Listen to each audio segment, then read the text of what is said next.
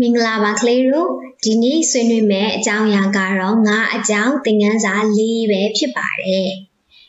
ဒီနေ့ပြုလုပ်မယ့်လုပ်ငန်းစဉ်လေးတွေကိုဆရာမကပြပြမယ်နော်ပထမဦးဆုံးငါးလေးတွေစားတဲ့အစားအစာတွေကိုဆရာမနဲ့ကလေးတို့အတူတူဆွေးနွေးကြမယ်ဒုတိယအဆင့်အနေနဲ့ငါးလေးတွေရဲ့သွားလာလှုပ်ရှားပုံကိုဆွေးနွေးကြမယ်သူတို့ဘယ်လိုသွားလာလှုပ်ရှားရဲဆိုတာကိုဆွေးနွေးမယ် နောက်ဆုံးမှာတော့ဆ iam ပေးထားတဲ့ငါးပုံလေးတွေကနေကလေးတို့ကသူ့နဲ့တူညီတဲ့ငါးပုံလေးကိုရွေးချယ်ခြင်းလုပ်ငန်းစဉ်လေးနဲ့အဆုံးသတ်သွားမှာပဲဖြစ်ပါတယ်။ဒါဆိုရင်ပထမဦးဆုံးလုပ်ငန်းစဉ်လေးဖြစ်တဲ့ငါးတွေစားသုံးသောအစားအစာတွေကဘာတွေဖြစ်မလဲဆိုတာကိုကြည့်ကြည့်ရအောင်။ငါးတွေကဘာတွေကိုစားလဲ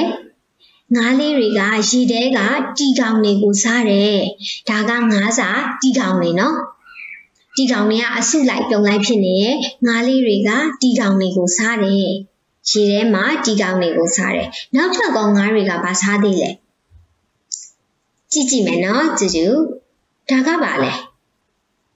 ပမုံဟုတ်တယ်ငါးလေးတွေကပမုံစားတယ်ဆရာမတို့ငါးစာကျွေးတဲ့ခါကြလို့ရှိရင်ပမုံတွေလည်းကျွေးလို့ရတယ်လေပမုံတွေချကျွေးလိုက်တယ်ဆိုလို့ရှိရင်ရေထဲကနေတက်လာပြီးတော့ငါးလေးတွေကလာစားတယ်ငါးစာပမုံစားတယ် ခုနကတီကောင်စားတယ်ပေါင်မုံစားတယ်နောက်ထပ်ကောပါစားသေးလဲကြည့်ရအောင်မြက်ပင်ရှည်ထဲမှာရှိတဲ့မြက်ပင်တွေကိုလည်းငါးလေးတွေကစားတယ်ဟုတ်တယ်နော်ရေစက်နားမှာရှည်ထဲမှာပေါက်နေတဲ့မြက်ပင်လေးတွေကိုလည်းငါးလေးတွေကစားသုံးပါတယ်နောက်ထပ်ငါးလေးတွေစားတဲ့အစာအစာရှိသေးတယ်ကလေးတို့ရဲ့ ငါးလေးတွေက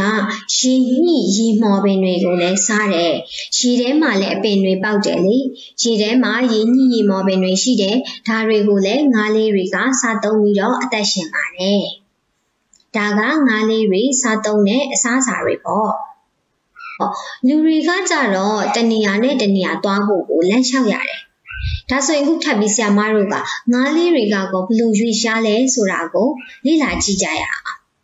လူတွေကတော့လမ်းလျှောက်သွားတယ်အကောင်လေးတွေတရိတ်ဆန်လေးတွေဆိုလို့ရှိရင်လည်းလမ်းလျှောက်ပြီးတော့သွားတယ်ဟုတ်တယ်နော်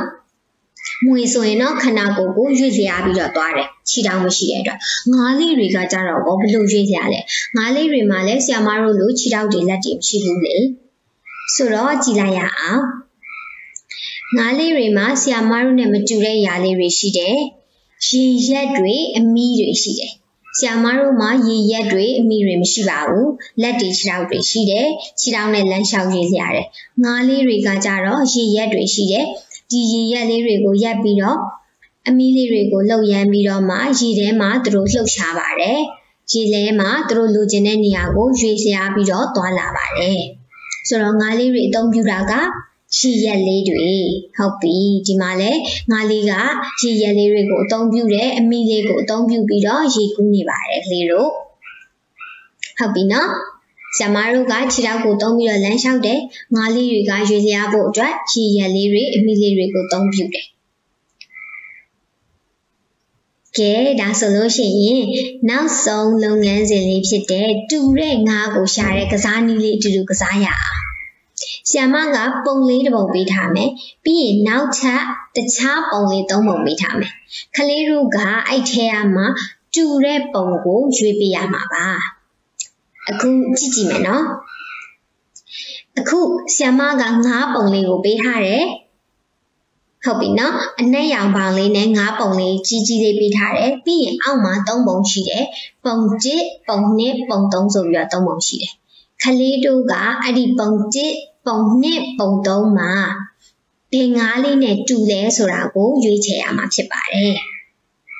ပထမဦးဆုံးငါးအမဲလေးရှိတဲ့ပုံ1ပြီးတော့မိရှိရှိလေးနဲ့ငါးကလေးကပုံ2ပြီးတော့နောက်ထပ်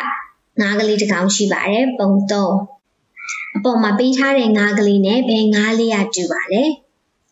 ပုံ1ပုံ2ပုံ3 ဟုတ်ပါတယ်ပုံ3ကငါးကလေးကတူပါတယ်ကဲနောက်ထပ်ထပ်ကြည့်မယ်နော်အော်ဒီမှာတော့ကလေးတို့ကိုပေးထားတာငရှင်းတွေကြီးပဲငရှင်းတွေထဲမှာမှအခုဆ iam ပေးထားတဲ့ငရှင်းနဲ့ပုံ1ကတူတာလားပုံ2ကတူတာလားပုံ3ကတူတာလားကလေးတို့ပုံ1ပုံပုံ2ပုံ3ဆိုပြီးတော့3ပုံပေးထားပါတယ်ဘယ်ပုံကငရှင်နဲ့တူတာလဲ အဖြေကိုကြည့်ကြမလား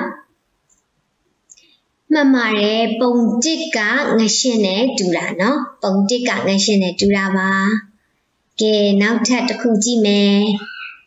ဟောငမန်းရင်းပေးထားပါတယ်ကလေးတို့အောက်မှာလည်းငမန်း၃ကောင်ပေးထားတယ်ဒါပေမဲ့ဘယ်ငမန်းနဲ့ပုံစံတူတာလဲပုံတစ်နဲ့တူတာလားပုံနှစ်နဲ့တူတာလားပုံသုံးနဲ့တူတာလားကလေးတို့တူရအောင်ရွေးပေးပါ ပုံ1လား2လား3လားပုံ3နဲ့တူတာပါမှန်ပါတယ်ကလေးတို့ပုံ3နဲ့တူတာပါနောက်ထပ်တစ်ပုံကြက်ပါသေးတယ်ဟောလပိုင်လေးပေးထားပါတယ်အောက်မှာလည်းအခြားငါးပုံလေးနဲ့လပိုင်ပုံလေးပေးထားပါတယ်အဲ့ဒီတော့ပုံ1နဲ့တူလားပုံ2နဲ့တူလားပုံ3နဲ့တူလားထပ်ပြီးတော့ကြည့်ပေးပါဦး1လား2လား3လား အဖြေကိုကြည့်မယ်နော်ကလေးတို့ရွေးပြီးပြီဆိုရင်အဖြေကိုကြည့်မယ်ဟောပုံ2နဲ့တူတာပါကလေးတို့ရောမှန်လားဟုတ်ပါပြီကလေးတို့ရေတော်လိုက်တာကဲဒါဆိုရင်တော့ဒီနေ့သင်ခန်းစာလေးတွေကဒီလောက်ပါပဲငါးလေးတွေစားတဲ့အစာတွေရဲ့ ပြီးသွားလို့ရှိရင်ငါးလေးတွေဘယ်လိုလှုပ်ရှားလဲဆိုတာရဲ့တူညီတဲ့ငါးလေးတွေကိုလည်းရှာပြီးပြီဆိုတော့ဒီနေ့သင်ခန်းစာလေးကတော့ပြီးပါပြီနောက်သင်ခန်းစာရင်မှာပြန်တွေ့ကြမယ်နော်အားလုံးပဲတတ်တာ